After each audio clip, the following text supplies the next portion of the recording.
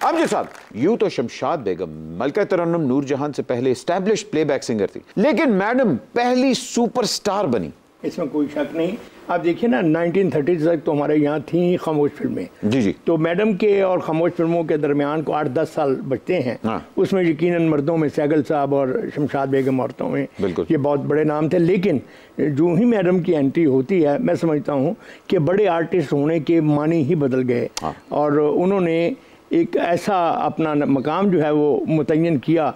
जैसे मिसाल के तौर पे आप कहें कि एक्टिंग में दिलीप साहब ने किया जी, जी। कि उनके नाम के साथ कोई दूसरा नाम जो है वो शायद सचता नहीं है। तो ये जो सिंगुलरिटी है ये जो कमाल है मैं समझता हूँ कि ये अगर किसी सिंगर को हासिल हुआ है हमारे यहाँ तो वो मैडम ही है।